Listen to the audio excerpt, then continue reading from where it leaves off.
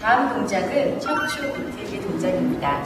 척추 비틀기 동작은 틀어진 척추를 바로잡아주고 등과 허리 라인, 등살을 없애주는데요. 특히나 속옷 입으시면 여자분이 여기 이렇게 접히잖아요. 삼각형으로.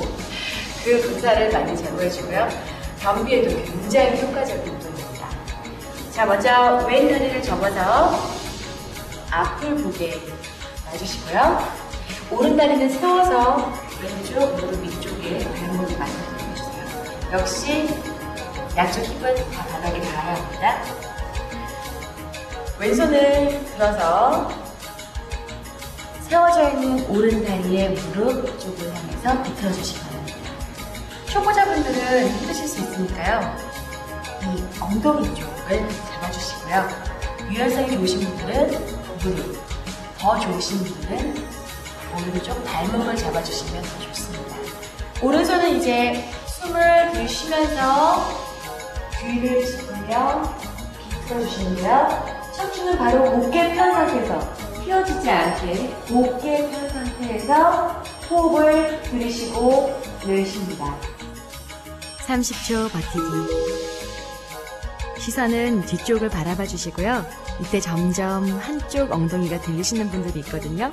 이럴수록 양쪽 엉덩이를 바닥에 꽉 붙이려고 더 노력하세요.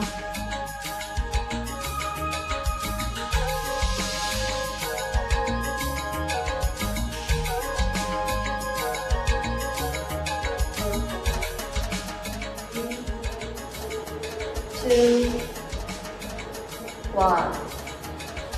한쪽을 다 미끄렀으면 다음 쪽도 짜줘야죠. 저는 오른손을 높이 들어 원을 그리고 무릎과 팔꿈치를 같이 합니다. 가능하신 분들은 무릎, 더 유연성이 좋으신 분들은 왼쪽 발목을 꽉 잡으세요. 숨을 들이쉬고 내쉬면서 몸을 비틀어줍니다. 30초 버티기. 앞에서 봤을 때 어깨는 틀어지지 않게 일직선상에 있어야 합니다. 오른쪽, 왼쪽 좀 더 안 되는 쪽이 있을 텐데요. 잘 안 된다고 중간에 포기하지 마시고 안 되는 쪽을 더 해주셔야 해요. 안 되는 쪽으로 척추가 틀어져 있다는 뜻이거든요. 그러니까 안 되는 쪽을 조금 더 열심히 하셔야 교정 효과가 있습니다.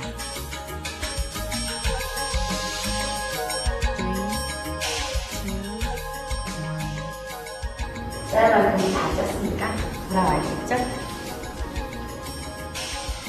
몸의 긴장을 풀고 편안하게 세 번 호흡합니다.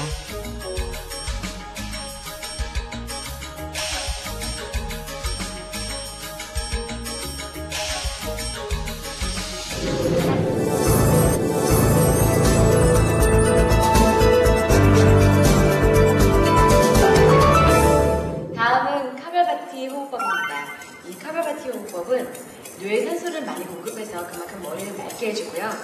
폐를 건강하게 유지시켜주면서 장의 운동을 도와주는 아주 건강한 호흡법입니다. 남자분들은 무릎 꿇는 자세가 힘드니까 이대로 자세를 유지해 주시고요. 여자분들은 무릎을 꿇고 앉아주세요. 두 손을 가볍게 무릎 위로 올려주시고요. 자, 호흡을 하는데요. 들이마실 때는 복부가 최대한 팽창되게 그리고 숨을 밖으로 내뱉을 때는 복부와 등이 최대한 가깝게 수축되는 느낌으로 복근을 조여줍니다.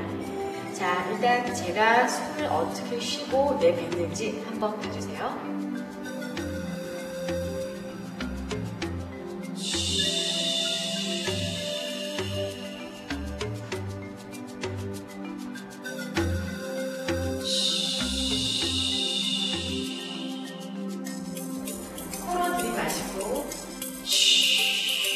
소리와 함께 완벽하게 들이마신 숨을 내뱉습니다.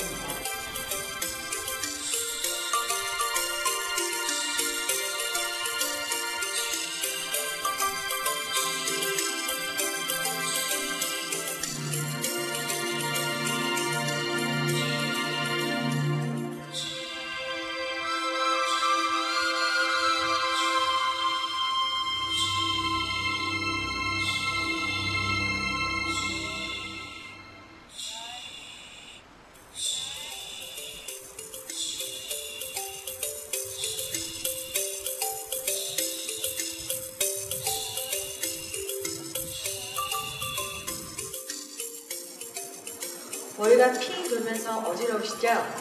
네, 갑자기 많은 공기가 주입되기 때문에 풍선을 본 것처럼 그렇게 어지러운 현상이 나타날 수 있지만 지극히 정상적인 것이니까 너무 걱정 마세요. 자, 이제 조금 더 속도를 붙여서 빠르게 50번 실시합니다. 이때 배가 들어가고 나갈 때 숨이 들어갔다 나가는 거 절대 헷갈리시면 안 돼요. 처음 하시는 분들은 숨을 내쉴 때 배가 나오시는 분들 드시거든요. 숨을 들이마실 때 배가 나오고 내뱉을 때 꽉 조여주면서 수축시킵니다. 50회 70.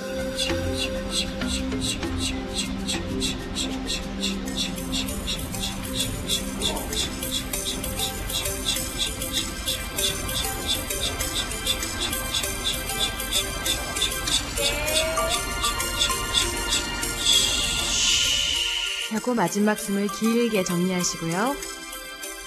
양손으로 배를 문질러 주시고 입에 고인 침을 삼키세요.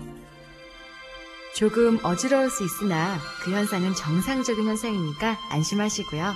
계속 호흡을 정리합니다. 자, 이제 모든 동작이 끝났습니다. 편안히 누워서 휴식을 취합니다. 손바닥은 하늘을 향해 쭉 펴주시고요. 손바닥을 통해서 공기 중에 좋은 기운이 몸 안으로 들어옵니다. 눈을 감고 쉬세요. 발끝부터 머리끝까지 느끼는 에너지와 기운을 느껴보세요. 에너지가 느껴지면 호흡도 느낍니다. 숨이 들어올 땐 가슴이 시원한 느낌. 숨이 나갈 땐 가슴이 편안한 느낌. 이 느낌을 갖고 호흡을 반복하셔야 해요. 부드러운 에너지를 느끼면 몸이 이완되어 몸의 편안함을 느끼게 되고 편안한 호흡을 느끼면 마음의 안정과 평온이 찾아옵니다. 모든 동작이 끝났으니까 효과가 오기를 기다리는 거죠.